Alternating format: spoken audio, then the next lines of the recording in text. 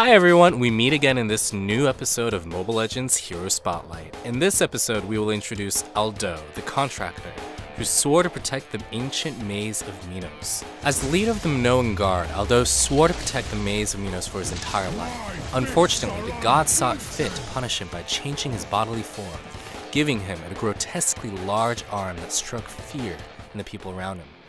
What's scarier is that his arm can gain seemingly infinite power through the souls trapped within it. Needless to say, Aldous is a formidable foe on the battlefield. Overall, Aldous is capable of attacking nearly any enemy on the map, and he has the ability to endlessly strengthen his attack damage by killing his foes. In short, Aldous is a warrior who possesses strong burst DPS. For his first skill, Aldous activates his arm's latent energy to strengthen his next basic attack. If that attack kills an enemy unit, then Aldous's basic attack damage will permanently increase. What makes this skill even stronger is that enhanced basic attacks will deal bonus damage against minions, making Aldous a good choice for laning. In fact, this skill is Aldous's primary DPS skill. We recommend everyone to solo a lane in order to accumulate as much damage enhancements as possible thus allowing Aldous to become a deadly foe in mid to late game. For his second skill, Aldous activates a defensive barrier that makes him immune to all basic attacks and reduces damage from other attack types. When reactivating the skill within 1 second of activation or when the skill duration ends, Aldous will stun and damage nearby enemy units. Use the skill before charging into a skirmish and Aldous will most likely survive long enough to use his first skill twice. If the battle feels too heated, taking advantage of this skill's stun effect can be very useful in promoting Aldous's survivability. For his ultimate, Aldous can temporarily gain the field of vision of any one of the enemy heroes. During this time, reactivating his ultimate allows Aldous to lock onto one of the enemy heroes for a strike that damages and knocks back the enemy hero. However, canceling the strike while Aldous is attacking results in additional cooldown time. Use this skill and Aldous can attack any enemy hero on the map, which is indeed very powerful.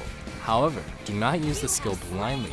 For example, it would be better to cancel Aldous's ultimate if he's attacking an enemy surrounded by allies. We strongly, and I mean strongly urge, everyone not to feed. As for Aldous's passive, after every 3 attacks, the next attack's damage will generate a shield that absorbs damage, lasting 3 seconds each time. Now here's something amazing. The basic attacks enhanced by Aldous's first skill will also activate his passive, what this means is, Aldous can generate a very powerful shield due to the synergy between his passive and his first skill.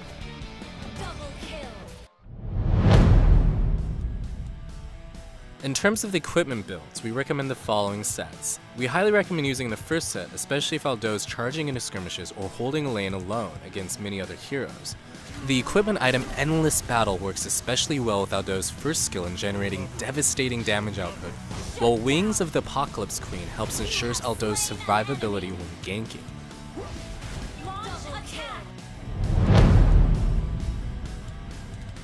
As for emblem builds, we highly recommend everyone to use the physical emblem set and select Shield, Bravery, and Life Drain.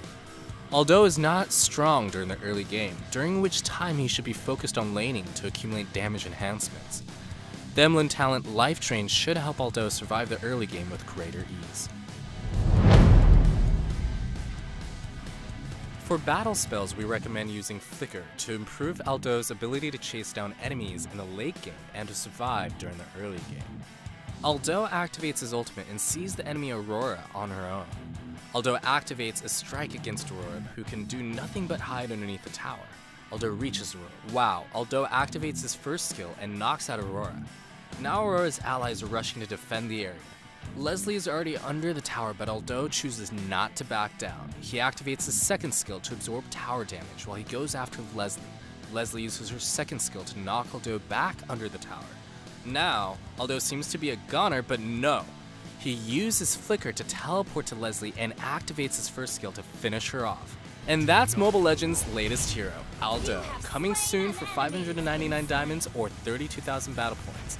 Make sure to take advantage of the 30% launch week discount. Until next time, we'll be seeing you another day. Download for free Mobile Legends Bang Bang.